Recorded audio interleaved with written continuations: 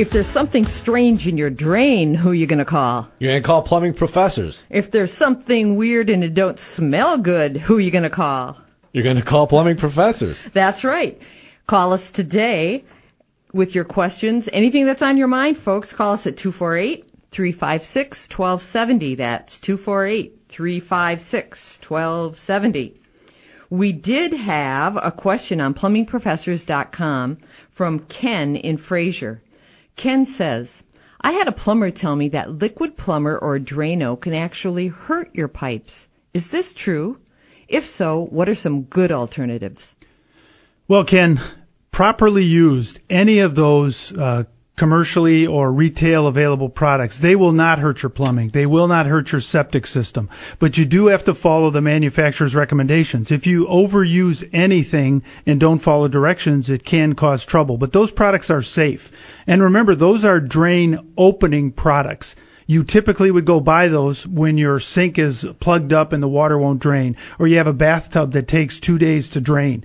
Then you go buy Drano or Mr. Plumber. But use according to directions, you're safe. But there are some other things you should know about those type of products.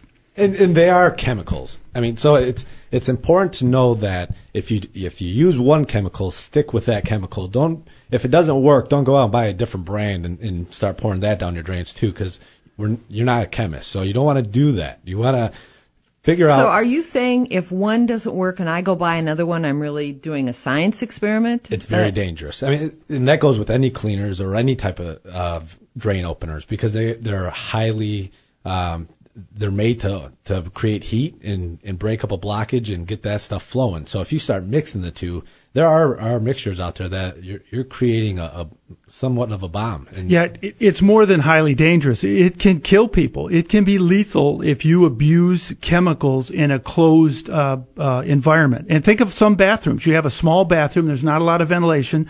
You're putting different chemicals down there trying to clear uh, a clogged drain. You can actually release chlorine gas in some cases, which is lethal with a relatively small hit. and the main thing is read the instructions on the back of the container and follow those. And then if it doesn't work, then call plumbing professors. We'll come out, we'll take a look at it, but be sure you let any plumber know if you put something down your drains, let them know that you did that. So that way they can protect themselves. Because that's when the danger comes in. It's not so much on your plumbing system or your pipes.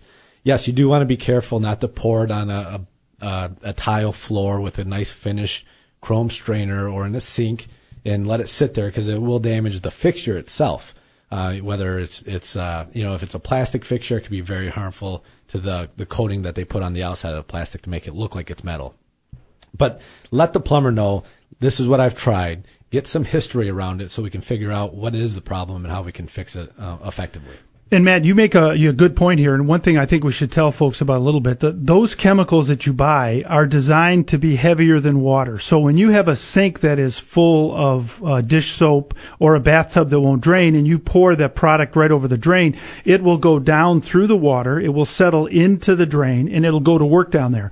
And as long as everything outside your tub is covered, covered with water, you don't get any damage. But your point is well taken that if you are pouring drain cleaners down a dry bathtub or a dry sink, you can damage some of the finishes. So be very careful. And I'm not saying don't use them because I've used those products before and they do work well. They're designed for a plugged up drain.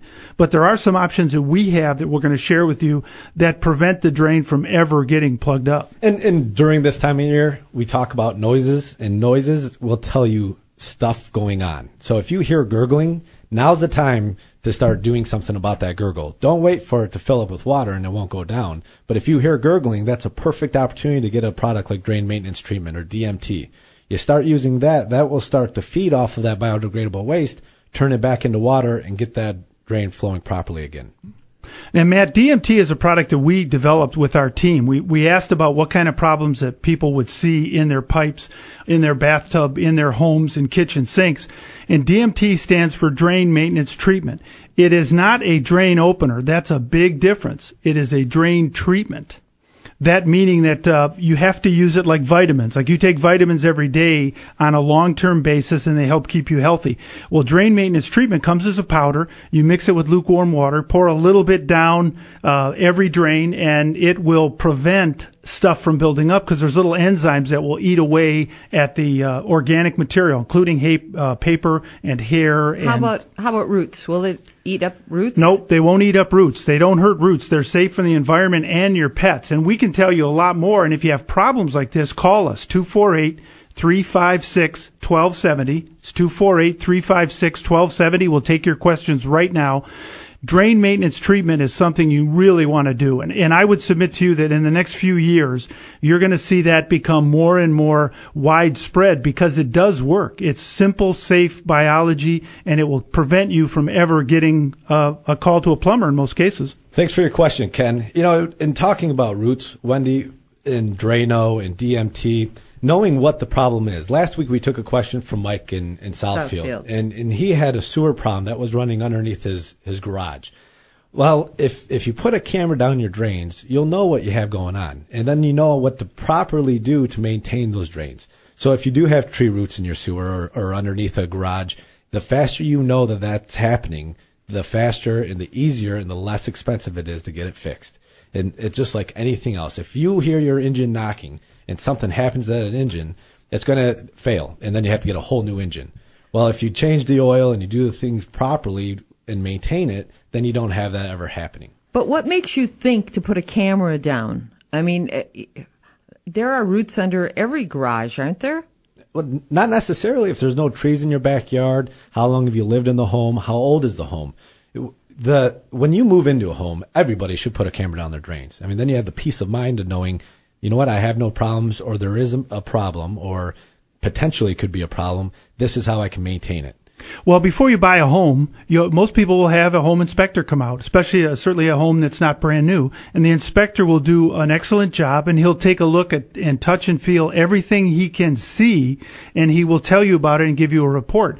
But very few of them, to, to my knowledge, I don't know any of them that have a sewer camera that's specifically designed to go down a sewer, which is not a you know a nice place to be. So the cameras are high tech; they're built for a severe environment, and he can actually see you. We can see for you a picture of what your drain looks like, so you don't have to guess what's down there. And it, depending on what area you live in, too. I mean, if if your home is pre 1970, or you're in Birmingham with beautiful trees and beautiful neighborhoods, or in Livonia, there's a great area of Livonia off Plymouth and Farmington. Those are awesome homes. I mean, they're gorgeous. They're huge trees. Well, you know, it, it's very frustrating when you hear people say, "Well, I'll just cut down the tree." Well, you don't have to cut down the tree. That tree took how many years to get to where it is No today? kidding. And and most people grown up, you know, they they move into a home and they plant this nice little tree, and and 30 years down the road, it's 50 feet tall or 30 feet tall. You don't want to cut those trees down. If, And if- it's expensive to cut those trees down. it's the restoration. And, and going back to Mike with the garage, once that sewer is running underneath something or underneath a huge tree, you can't dig it up to get it fixed. You're going to spend five, six thousand dollars to cut down that tree, or in Mike's case, it was eight thousand dollars to dig in the garage and take down the garage. That's a, a huge expense. No kidding. We're putting a camera down there for one hundred and Yeah, twenty-five you're dollars, right. You're right. you know what the you know what you have to do. Well, one of the things that we do at Plumbing Professors, we're big fans of technology. We have on every truck digital cameras, high definition. The guys can see what's going on. They can actually show you. You can look over their shoulder and see for yourself what's there. And that makes solving that problem easier. The other thing we have, which is we're one of the few companies in probably the Midwest, and we're probably the second now or third in the country in terms of size. We do epoxy cured in place pipelining, Matt, which is just what you were talking about. We can go into a pipe without disturbing the surface and reline it so it doesn't take the tree out. It doesn't uh, ruin a driveway. We've actually gone to some restaurants and relined at night so that they could continue running the next day because their clients didn't even know. We came in, relined the pipe. The next day, the restaurant's running and they have a brand new, the equivalent of a brand new sewer. Without any dem- demolition, damage, or digging. I mean, that's what we're here for. We're here to educate you. We're here to help you. So give us a call, 248-356-1270. Ask us what's on your mind. You getting up? You have stuff to do? Give us a call. Go to plumbingprofessors.com. Ask a question. We will answer it on air for you and, or send you an email quickly and let you know what you have going on. Hey, folks, the holidays are coming. You need to get your head out of the sewer. Get that problem fixed that worries you every time you have company. Don't embarrass your guests. Don't embarrass yourself. Get it fixed. Call Plumbing Professors. We'll give you options. We've got financing. Get her done, folks. When we come back, we're going to tell you about the financing. It is really something I think you'll be interested in. It could really come in handy if you have an unexpected expense. So stay with us on New Talk Radio 1270 WXYT on Plumbing Professor Radio.